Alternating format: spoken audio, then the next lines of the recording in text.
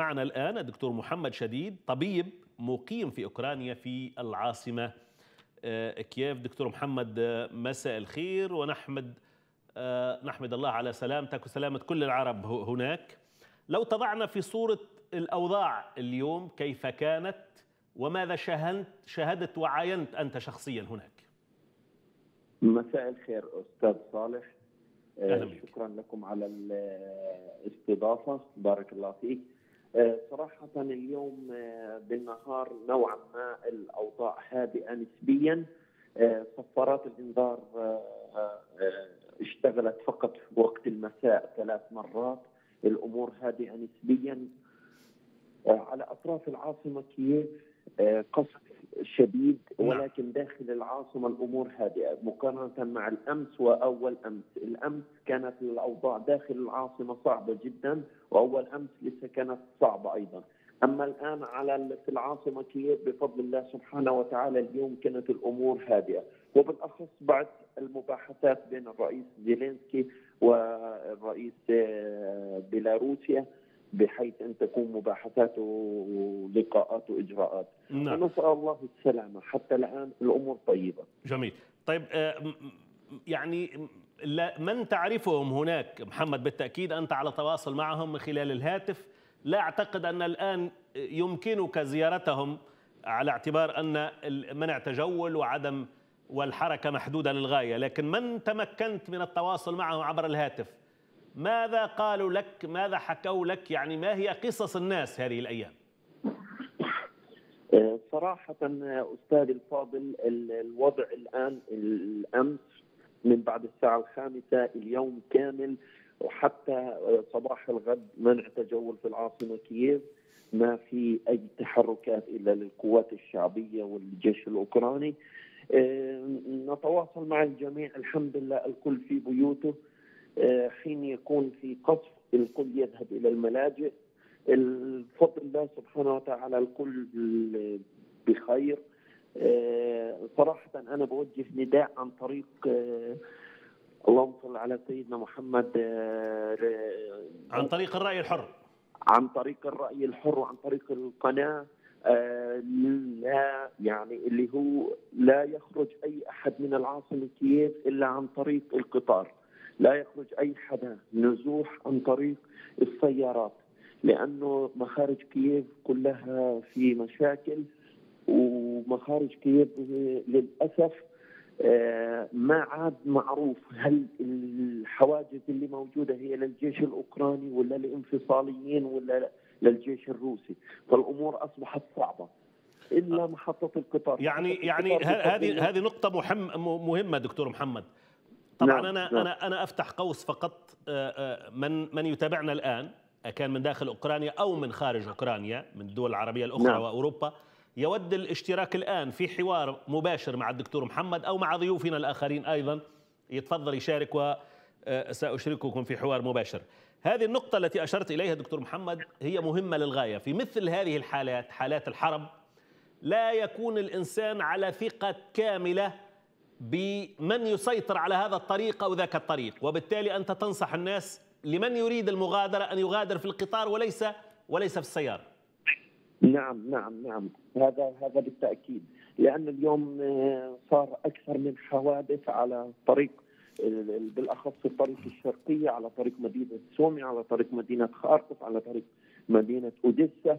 وكانت حوادث فردية ويعني حتى الآن مش معروف المتسبب. يعني في هذه الحالة دكتور محمد السلطات الأوكرانية لا تملك بدورها إجابة وتعطي إشارات من خلال وسائل الإعلام أم أن الأمر أيضا يبدو عائما على الجميع؟ آه، صدقا أستاذ الفاضل الموضوع عائم لأن الجيش الأوكراني يعني يؤمن المدن ويؤمن أطراف العاصمة بالأخص والمدن الكبرى. آه، الشرطة الأوكرانية تقف أمام المستشفيات أمام البنوك أمام السوبر ماركتات والمتاجر الضخمة. يعني الأمور داخل العاصمة وداخل المدن الكبرى مسيطر عليها. أما الأمور في بين المدن أنت تعلم بين المدينة والأخرى مسافة كبيرة. لا يمكن تأمين ذلك. هذه هذه النقطة أيضا ربما نضيفها لمن يتابعنا الآن. الدكتور محمد يقول بأنه الوضع في داخل المدن إلى حد ما معلوم نسبيا وبالتالي الأمور متحكم فيها إلى حد الساعة لكن ما بين نعم. المدن طبعا هناك قوات بالتأكيد غازية روسية أو ربما أيضا من تدفع بهم روسيا لإثارة القلائق كما قال البعض في هذه المدينة أو تلك هذا نعم. الأمر يضع يضع الطرقات ما بين المدن ربما محفوفة محفوفة بالمخاطر. دكتور محمد أنت شخصيا مقيم طبعا كما علمنا منذ سنوات هناك. مثل هذه الظروف هذه الحرب لا تدفعك للتفكير في الخروج ولو مؤقتا؟ صراحة أستاذ الفاضل أنا بعيش في أوكرانيا من 16 عام. هذا البلد يعني أصبح مثل بلد الأم. فبالتالي صراحة مصيرنا من مصير الشعب الأوكراني هذا واحد. الأمر الآخر التدافع على الحدود ضخم جدا ومقلق. نعم وللأسف يعني لدي أصدقاء من ثلاث أيام على الحدود ما استطاعوا حتى الآن اجتياز الحدود. فلا يوجد أي يعني كيف أحكي لا يوجد أي مبرر للخروج يعني ما زالت الأمور هادئة داخل العاصمة ما زالت الأمور مسيطر عليها نوعا ما ولكن للأسف إذا ساءت الأمور سنضطر للخروج من العاصمة إلى أماكن أكثر امنا. نعم. حتى الآن حتى الآن لا أعتقد إن الأمر يستدعي ذلك ونسأل الله السلامة. فيما يتعلق بالسفارات دكتور محمد آه، السفارات العربية وطبعا آه، عندنا دول عربية المفروض آه، يعني تهتم بجالياتها هناك. على حد علمك هل حصل تواصل بين على الأقل أجزاء من الجاليات العربية وهذه السفارات في محاولة للمساعدة ربما في ترحيلهم أو يعني الوقوف على أوضاعهم في داخل العاصمة أو باقي المدن الأخرى؟ سيدي الكريم كما تعلم الغطاء الجوي في أوكرانيا مغلق كاملة من جميع المطارات. آه، من يريد الخروج أو العودة إلى بلده يجب عليه النزوح إلى الحدود إما الحدود الملدافيه أو رومانيا أو الحدود البولندية. ومن ثم الذهاب. آه، صراحة آه، بنقدر نقول 90% من الإجلاء خارج المدن هو ذاتي.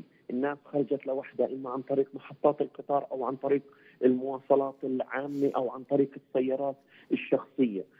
فما بعد ذلك على الحدود يوجد يوجد بعض السفارات من لديها مندوب على الحدود يسهل الأمور للطلاب ولكن كمية التدافع الضخم على الحدود تمام؟ لا تسمح بتنظيم أي شيء ولا أي أمر. أنا لي أصدقاء على الحدود آه، اتصلوا في نصف ساعة قالوا لي أنهينا مشي على الأقدام 10 كيلومترات وبقي 12 كيلو.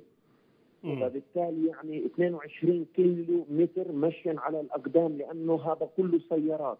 ف فقرروا إنهم يمشوا على الأقدام حتى يعدوا السيارات ويكملوا باتجاه الحدود.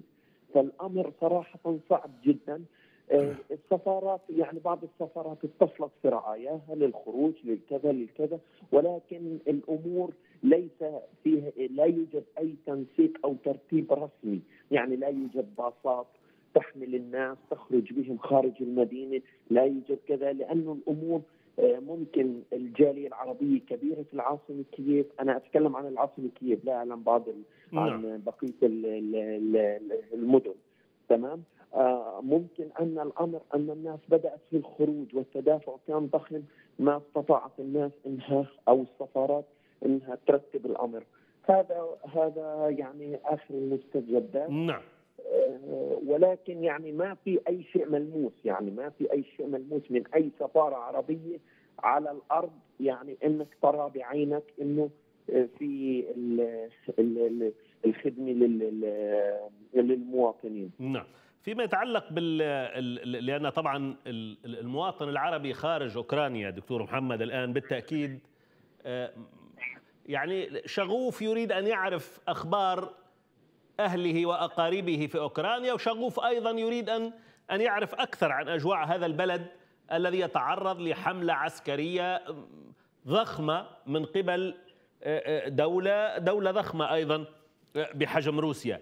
الحياة الآن يعني الدراسة متوقفة المكاتب أيضا لا أحد يعمل المحلات يعني حدثنا عن هذه الأشياء يعني كل شيء واقف الآن متوقف أم هناك سير لي ولو نسبي للحياة؟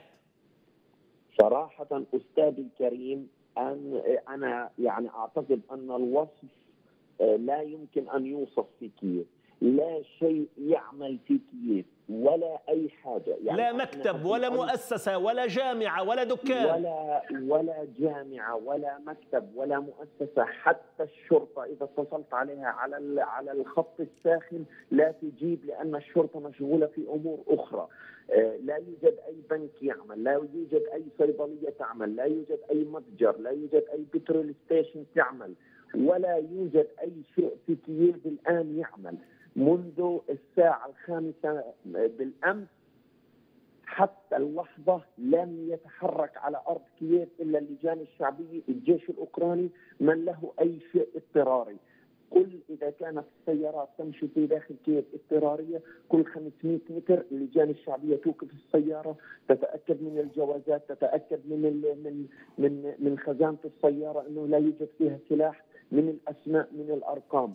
فالتحرك داخل كييف صعب جدا جدا جدا. وبالأخص يعني لا يوجد أي سبب أو أي ضرورة للتحرك لأنه كل شيء مغلق. كل شيء مغلق. يعني المدينة لا. يعمل بها إلا اللمبات الآن أنا من من الشباك أرى فقط يعني الأضواء أمامي. طيب اختم معك دكتور محمد يعني مثل هذا الوضع لو استمر ونأمل طبعا الا يستمر وتعود الحياة إلى طبيعتها. كيف ستدبرون شؤون حياتكم واحتياجاتكم اليومية خصوصا لمن لديه أطفال؟ يعني حليب الأطفال المواد الغذائية الماء مياه الشرب وما إلى ذلك من هذه الأمور. يعني كيف يمكن توفيرها؟ الحكومة الأوكرانية في بيان لها قالت إنه سيكون حتى صباح الاثنين سيفتح بعد ذلك المتاجر والصيدليات للشغلات أو للأمور الضرورية ثم سيكون من الساعة الخامسة مساء آه، يوم غد ستغلق منع التجول مرة أخرى، يعني الأمور الآن هي فقط في يوم السبت ويوم الأحد، يوم الاثنين ضمن القرارات الحكومية ستفتح البلد من أول وجديد للمتاجر والبترول والصيدليات. الدكتور محمد شديد طبيب مقيم في أوكرانيا. كنت معنا من كييف. نشكرك جزيل الشكر ونتمنى لك ولأسرتك ولكل جاليتنا العربية والإسلامية هناك كل السلامة. وحفظكم الله جميعا. شكرا لك.